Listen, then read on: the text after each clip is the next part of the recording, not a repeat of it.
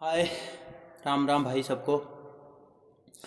सबसे पहले अगर आपने मेरा चैनल सब्सक्राइब नहीं किया है तो कृपा करके इसको सब्सक्राइब कर लें और घंटी का बटन दबा के ऑल पे क्लिक कर लें ताकि मेरी आने वाली कोई भी वीडियो जब भी पोस्ट की जाएगी तो आपको उसकी नोटिफिकेशन सबसे पहले मिले और आप उस वीडियो को देख के अपने फ़िज़िकल में थोड़ा इम्प्रूवमेंट ला सकें। मेरा वीडियो जैसे कि आप सबको पता है फ़िज़िकल से रिलेटेड होता है या फिर सेल्फ डिफेंस मार्शल आर्ट्स के रिलेटेड ही होगा। तो आज मेरा वीडियो उन भाई लोगों के लिए, जो लोग आर्मी की भर्ती में ज्वाइन होना चाहते हैं और आर्मी भर्ती ज्वाइन करने के लिए अपने घर में काफ़ी खूब सारा मेहनत कर रहे हैं। तो जैसा कि मैंने भी देखा, मैं जब भी घर में जाता हूँ ओनली तो मेरे गाँव के लड़के, मेरे दोस्त काफ़ी मेहनत करते हैं। कुछ तो रात रात को जागते हैं, पूरी रात मेहनत करते हैं, कुछ दिन में पूरा दिन लगे रहते हैं। अभी थोड़ा करोना की वजह से तो शायद किसी को इतना टाइम मिल पा रहा होगा, लेकिन फिर भी उम्मीद करता हूँ कि अपना फ्यूचर बनाना है तो कभी ना कभी, किसी ना किसी समय टाइम तो निकालना पड़ेगा दोस्त। तो इसी उम्मीद के साथ शुरू करते हैं। भाई, जो लोग आर्मी में भर्ती होना चाहते हैं, या जिनका सपना है या जो अपने माँ बाप के सपने को साकार करना चाहते हैं तो भाई बहुत आसान है आर्मी में ज्वाइन होना। इतना मुश्किल नहीं है। बस आपको अपना फ़िज़िकल मेंटेन करना है। कुछ का पहले से होता है और कुछ को बनाना पड़ता है। जिसका पहले से है, उसको मेंटेन रखना पड़ेगा और जिसका नहीं है, उसको बनाना पड़ेगा। तो ज़्यादा टाइम ना लेते हुए बात करते हैं मुद्दे की। तो ऐसा है यार दोस्तों। आप लोग जो सुबह प्रैक्टिस करते हो या शाम को प्रैक्टिस करते हो तो मेरे को कुछ हद तक ऐसा लगता है कि कई लोग हैं ना मतलब कि अपना मस्कुलर स्ट्रेंथ से ही काम करते हैं, कि उस, उनका मसल जितना स्ट्रेंथ उनको प्रोवाइड कर रहा है, वो उतना ही ताकत इस्तेमाल करते हैं।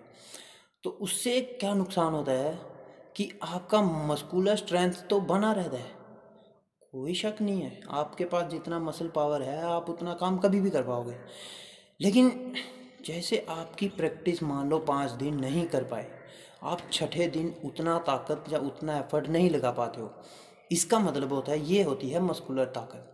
आपको एक तो मस्कुलर ताकत लगानी है, सबसे बड़ी चीज़ है मस्कुलर स्ट्रेंथ होना बहुत ज़रूरी है। लेकिन मसल पावर के साथ साथ आपका माइंड पावर जब फ़िज़िकल पावर दोनों तीनों का कोऑर्डिनेशन होना बहुत ज़रूरी है। कभी कभी क्या होता है कि मसल में स्प्रेन या स्ट्रेन होने के कारण बंदा ताकत नहीं लगा पाता तो क्या उस दिन आप हार जाओगे? तो हार तो भाई किसी को मंजूर नहीं है। तो मेरी मानो तो आप मस्कुलर स्ट्रेंथ के साथ साथ फ़िज़िकल और मेंटल कोऑर्डिनेशन का भी इस्तेमाल कीजिए। तो वो कैसे किया जाएगा, ये मैं आपको बताऊँगा अभी।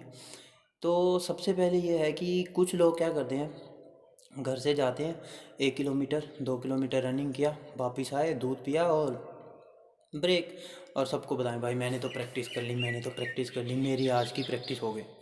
तो सुन पहलवान ये प्रैक्टिस ना है।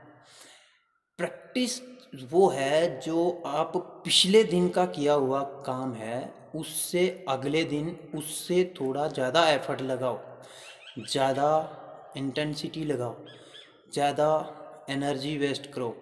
उसको हम बोलते हैं प्रैक्टिस। आपने एक दिन 1100 मीटर रनिंग चार मिनट में किया फॉर एग्ज़ाम्पल अगले दिन भी आप अगर 1100 मीटर रनिंग चार ही मिनट में कर रहे तो ये आपकी प्रैक्टिस नहीं है। प्रैक्टिस तब है जब आप एक दिन चार चार मिनट में कर रहे हैं तो अगले दिन तीन minute fifty eight fifty seven second में कर रहे हैं।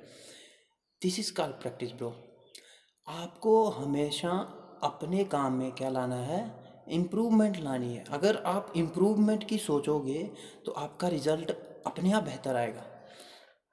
तो मैं उम्मीद करूँगा कि आप इम्प्रूवमेंट के लिए देखोगे अगली बार।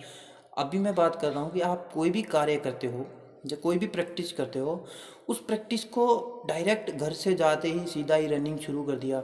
नॉर्मल जॉगिंग, फिर रनिंग, फिर come back, finish, then break, ये सही नहीं है। आपको कभी भी प्रैक्टिस करने से पहले अपने शरीर को प्रॉपर तरीके से वार्म अप करना है। प्रॉपर मीन्स आपको रनिंग करने से पहले पसीना आना चाहिए। अगर आपको रनिंग करने से पहले पसीना आ गया, फिर आपने रनिंग की, आप मेरी बात मान लेना, आप ध्यान दे देना। अगली बार आप ऐसा करके देख लो, चाहे कल सुबह करके देख लो, आपको आपका इम्प्रूवमेंट दिखाई देगा। अब मैं बात करता हूँ कि वार्म अप कैसे करना है और क्यों करना है, ठीक है?